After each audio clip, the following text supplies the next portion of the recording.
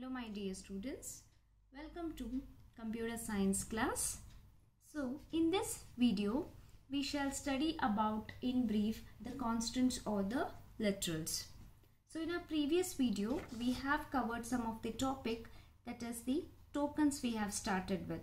So what is a token? Token is nothing but it's the smallest individual unit in the program the entire source code uh, that source code in the sense nothing but the program okay? The entire source code in c++ programming language is made up of the tokens. Now the tokens includes what? It includes the keywords includes identifiers okay? Constants or the literals punctuators plus the operators. So what are the keywords? Keywords are nothing but they are the predefined words that has some special meaning to the compiler. Example, int.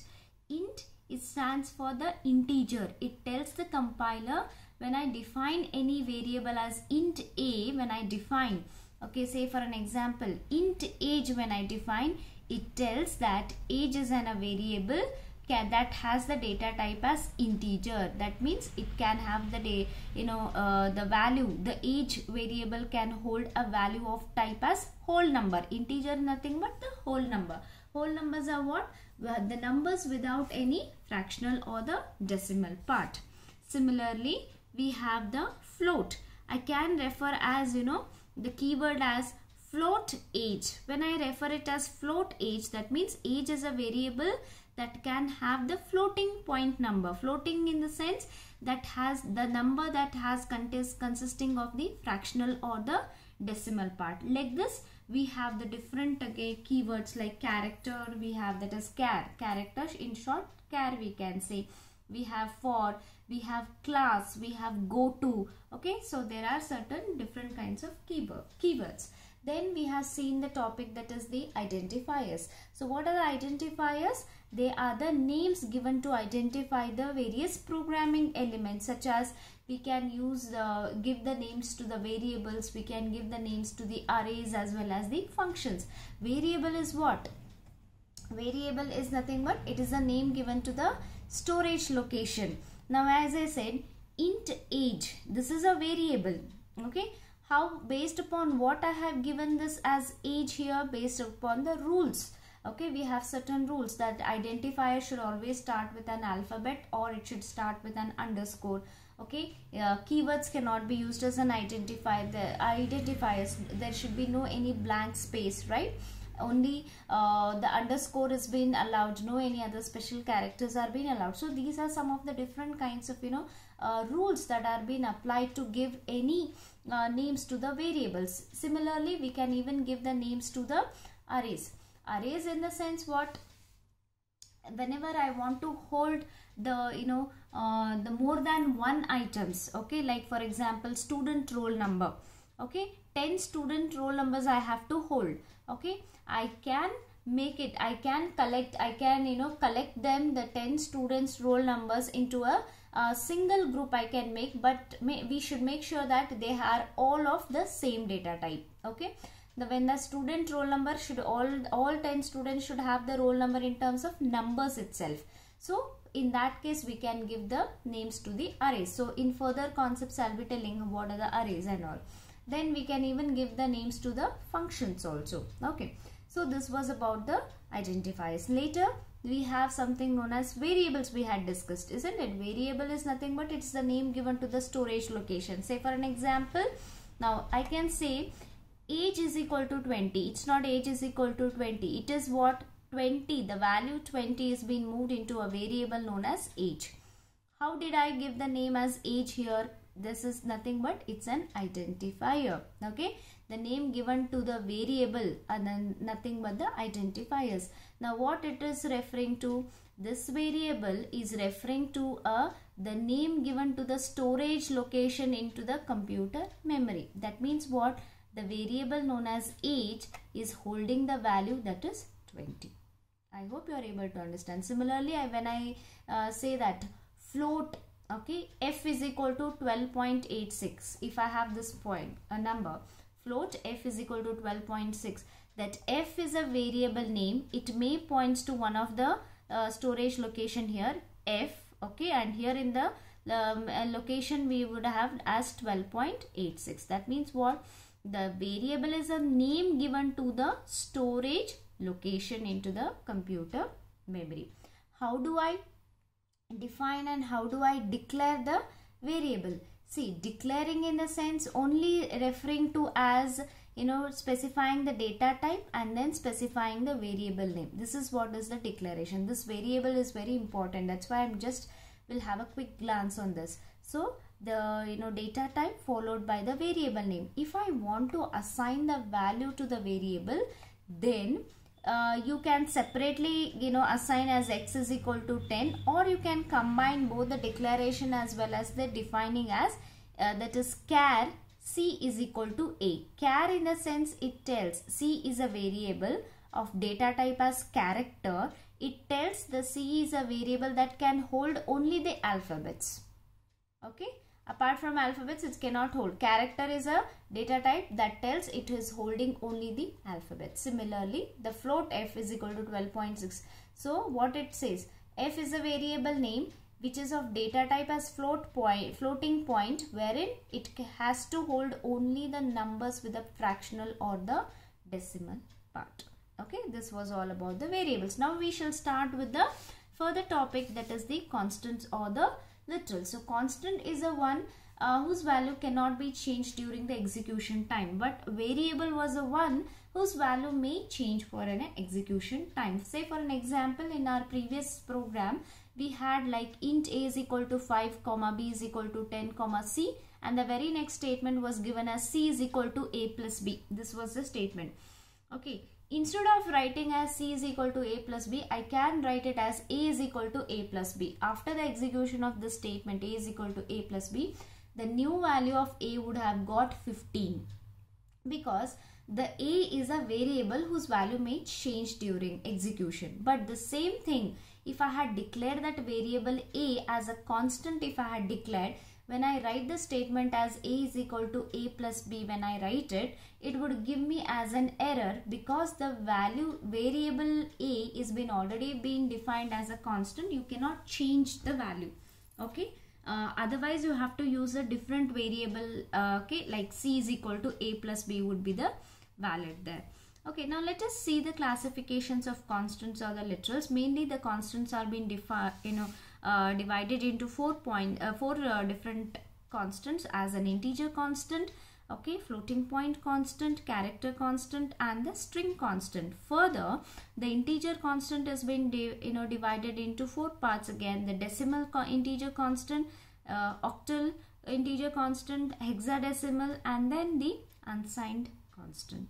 Now let us learn in detail the classification of constant if they're asking for two marks then you can briefly draw this diagram okay? Give the classification of constants or literals two marks if they're asking you can draw this diagram. If they're asking for five marks in detail you have to explain each and every constant. Now let us start with the first one integer constant. Integer constants are the ones which uh, doesn't contain any fractional parts or the exponential parts okay they represents the whole numbers which could be a positive or the negative value. Say for an example 56 is an integer constant. Minus 56 is an integer constant. Understood? But we should make sure that integer constant cannot have any fractional part like you know uh, 56.0 it is not considered to be as an any integer constant. 56 only when i refer as 56 then it is example for the integer constant. So this integer constants we can specify in decimal, octal or the hexadecimal form. Okay, now let us start with the first classification of integer constant as an decimal constants. So the decimal constant is a 1 where the base itself what it says decimal in the sense the base is 10. So when base is 10 means it is actually having the combination of digits from that is 0 to 9 it consists of any combination of digits from 0 to 9. We'll show an example so that you can understand. So where, how do we specify the decimal constants with a non-zero digit? See here examples 89, 399. Okay. Then you know 3002 minus 342 because why minus 342 is a valid one because I said integer constant can be both positive or the negative isn't it? Then it is a you know minus triple seven. One more example I can give here. A is equal to int a is equal to 1587 actually this is the correct form of uh, you know uh, defining a variable. That means a is a variable of type integer okay which has uh, which uh, consists a is uh, holding the value that is 1587 this is example for the decimal constant one more example i can show here as int b is equal to minus 148 one more example i can have here. I can tell int c is equal to 065 int c is equal to 065 when i specify it then it is con not considered as an decimal constant because why it is a non uh, decimal constant always specify with a non-zero digit it cannot have any uh, zero digit. It cannot have zero. It should always be specified with a non-zero digit. So therefore c int c is equal to 065 is an invalid you know decimal constant. Okay. Now let us move on to the next you know integer constant that is octal. Now the word octal says that the range octal actually means it says the base 8. When the base 8 is there, the range would be from 0 to 7. Always remember when it comes to the decimal, the decimal in the sense the base would be 10. But the, what will be the range of values we can have in the decimal integer constant that is from 0 to 9. When you count from 0 to 9, obviously it will come the you know 10 numbers. So similarly, we have the octal constant okay? This octal constant can have the combination of digits from 0 to 7 but how do we specify the octal integer constant okay? We are able to specify the octal you know integer constant by specifying beginning with the 0 by beginning with the o you can say rather than 0 by beginning with the o. Now let me show you an example here how do you rectify or recognize the octal integer constant? Now it should always start with a 0 0753 okay? Minus 0673 is a valid because we know that integer constants could be both the positive and the negative. Then 04, uh, this whatever the leading zeros you can able to see you know then I can refer this as an octal integer constant. So therefore in previous example I had given what? That is int c is equal to 065 it is not in decimal because it is been beginning with what there? It is beginning with the 0 then I cannot specify that it is an uh, decimal. Instead we can specify it as an octal integer constant. I hope you are able to understand. So one more example I can give here int a is equal to 065 leading 0 specifies an octal constant. Okay. Then we have one more example. Int b is equal to that is 0374 it's again a valid octal constant. One more i can say.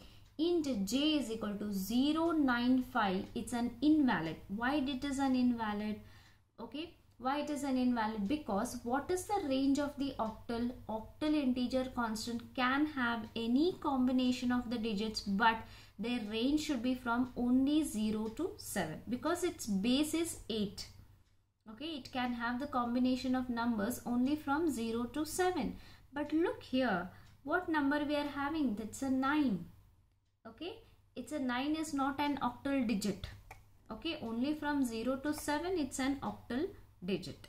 So that is why it is considered to be as an error in case of the octal constant. I hope you are able to understand students. Now let us move to the next you know, constant that is the hexadecimal constant. Now when I say about hexadecimal constant the base is 16 now you are able to understand what combination, what, what will be the range of hexadecimal constant when I say the base is 16. That means obviously it should be from 0 to 15. Now 0 to 15 also how they are you know representing is they can have the combination of digits from 0 to 9 plus they can have the combination of the letters from A to F wherein the letter A representing the value, the decimal value as 10, B is representing 11. A is a hexadecimal number which represents the value as 10 in the decimal. B is an hexadecimal integer constant that specifies the value as 11. C is an 12. D is 13 it is representing. E as 14 and therefore F as 15. Therefore, the range of the hexadecimal will be from 0 to 15 wherein 0 to 9 will be the decimal digits and from A to F which is the hexadecimal wherein A is representing 10 and further up to F is repre representing it as with the 15. Now you can clearly understand this one with the example.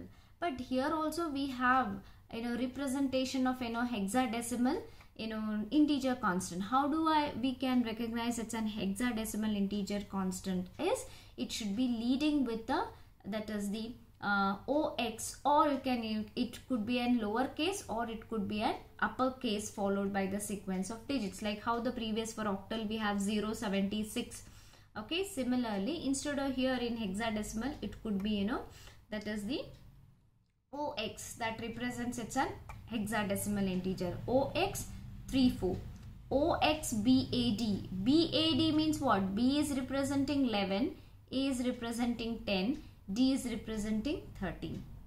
Okay, this OX actually indicates what? It's an hexadecimal integer constant whereas C refers to 12, A 10, F 15 and E is representing what? That is 14.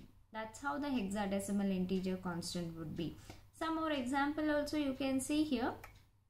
That is uh, A is equal to 0x5 triple F. This all F is representing the decimal digit as 15. Similarly, int b is equal to minus 0x. As we said, so the lowercase 0x and the uppercase 0x doesn't matter. Okay, both would be the same. It indicates it's an hexadecimal integer constant only.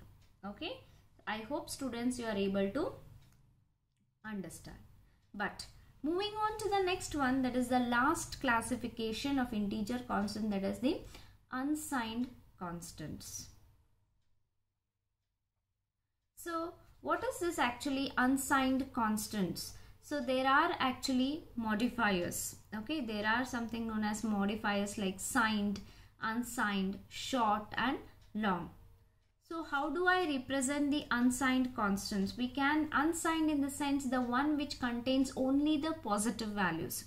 The integer constant, okay, that can contain only the positive values. It cannot hold any negative values. So how do we specify the unsigned constants? We need to suffix it with the small lowercase u or the uppercase as a u. Now before I start with an unsigned constant, I'll be showing you one chart there so that you can understand what is the use of this unsigned, signed, long and integer, long and short. Now here the basic data type to represent the whole numbers is as as I said it is a int that is an integer may or may not be the signed one. So usually the capacity of the integer is of 2 bytes. 2 bytes in the sense what? 16 bits. That means 1 byte is equal to 8 bits. Now when I say integer is a one that is you know able to represent the whole numbers. So for integer the total capacity the data type size is of 2 bytes 2 byte means what amount of range it can hold the values it can hold the values around the range of minus 32768 to plus 32768 so between these two ranges the integer data type can hold the value now we are using the modifiers like signed unsigned you know, long and short to alter the size of the basic data types. Now one example I can show you. The you know signed integer represents the values both in positive and negative whereas unsigned integer okay unsigned integer will represent only the positive numbers positive integers say for an example look at this unsigned integer unsigned is in one that represents only the positive here you see an integer without any sign. That means without any minus sign.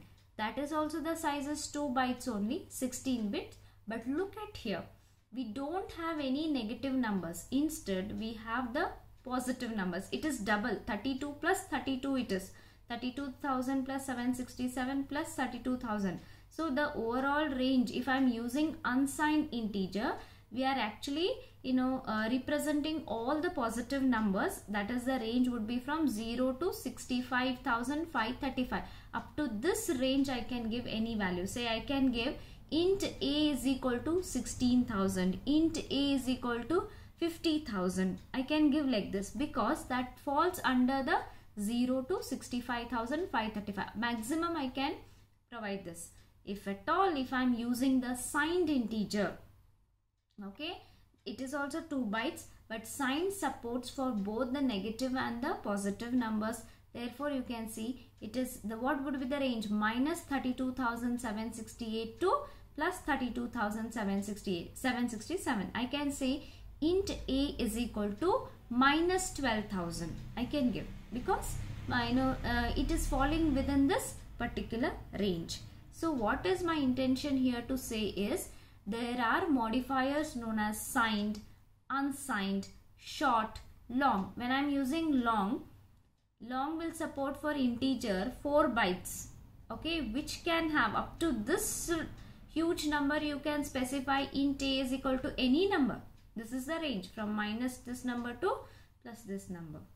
Okay, so it is actually trying to change the uh, size of the basic data type actually the normal integer is having this part but because of unsigned which is only representing positive numbers it is showing the double the size. Now let us come back to the unsigned. Now what you are understanding by the previous chart is unsigned constants are the one which represents only the positive integers. That's what i wanted to tell. Here it cannot have any negative values. But previous hexadecimal octal and all they were both it might be have the positive or negative. This was the main intention to show this particular chart. Okay this we will study in the different chapter that is data types but i wanted to make you understand how the unsigned you know integer would be there what is the main use of it wherein it will not be able to support for any negative value so how do we specify it? We specify by suffixing it with the small u or the capital U. Similarly, we have the long okay as a modifier and we need to specify the you know it by the small l or the capital L. Similarly, you can see here when I represent with a long long int when I refer in like how unsigned int you know signed int. Similarly, I can refer as long int. It's specifying 4 bytes that is 32 bits so this huge you know uh, numbers you can specify. Now one example. Unsigned value is equal to 328u this considered it's an unsigned constant. So long a is equal to ox what it is telling?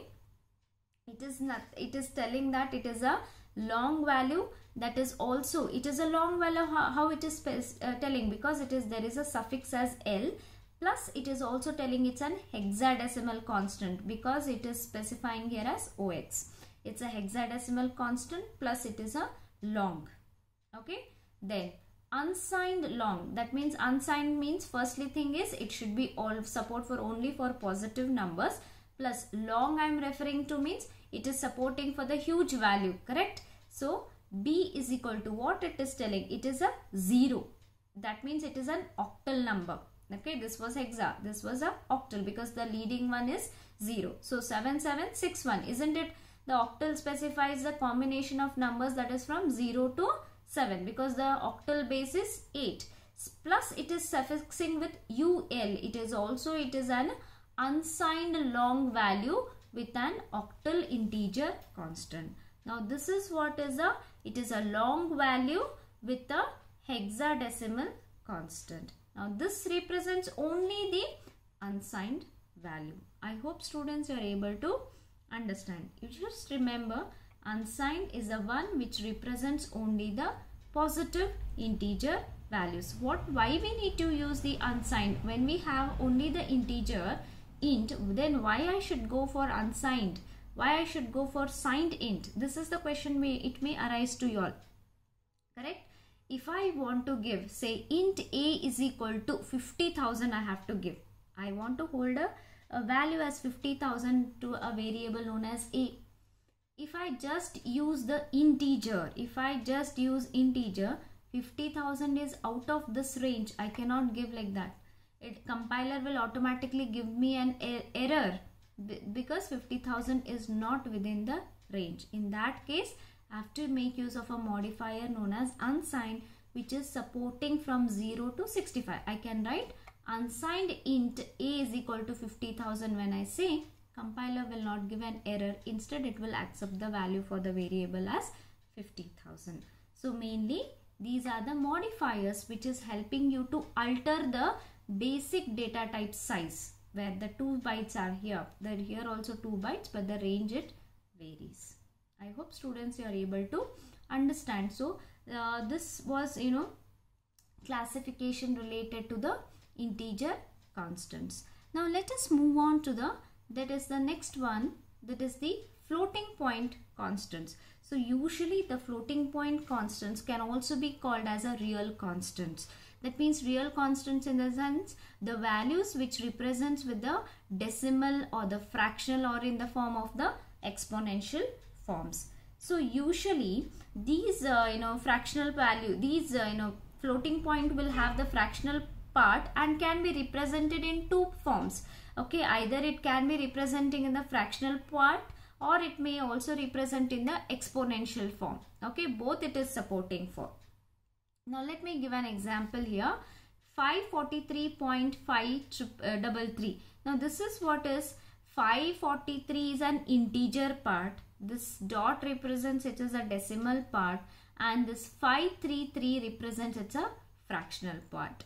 Similarly 34.03 this is an integral part, integer part, decimal part and this is again the fractional. Here also floating point supports both for the positive as well as the negative values. Now here some examples I'll be giving. Now this floating point constants can be represented with the fractional part also. As I said it also been representing in the exponential form. Whenever it is representing in the form of exponential it should have an value as capital E or the small e.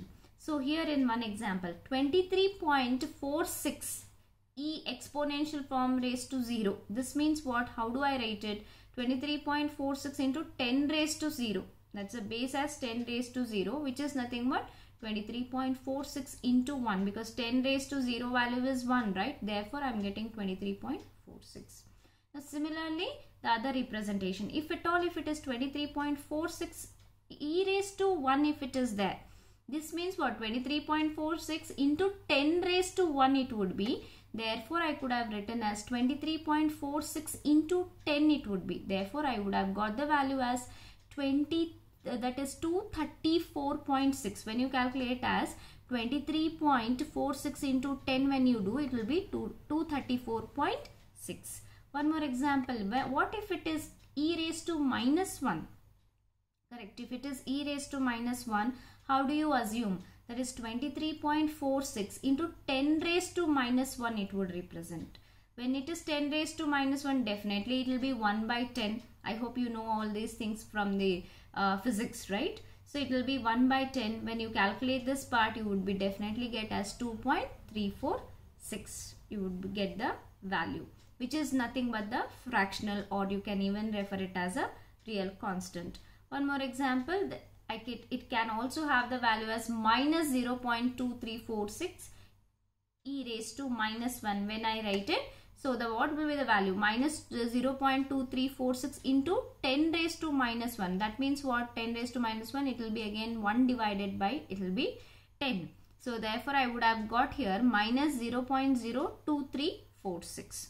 So this is how the different forms. Either you can refer the uh, floating point in the this form. Either in the fractional form you can represent or you can represent them in the exponential form. If you are representing in the exponential form, you can make use of, it could be a capital E also I can use or I can use the lowercase. So these were some of the examples for the floating point. So in case of floating point, you can even suffix with the letter as F also. At the end, like how we have for the unsigned uh, integers we have no at the end we were suffixing like you know u similarly you can suffix with the uh, you know lowercase f or the capital F. Usually when we are referring for the floating point we don't prefer but you can suffix it with the F. Similarly I can even represent the long like in unsigned constant, constant we have defined right as a lowercase l or the uh, capital L at the end if you are suffixing then that would represent the long data type okay? So this was about till the floating point constant students. In our next class video class we shall start discuss about the character constants and the string constant. I hope you are able to understand okay? Thank you students. Take care of yourself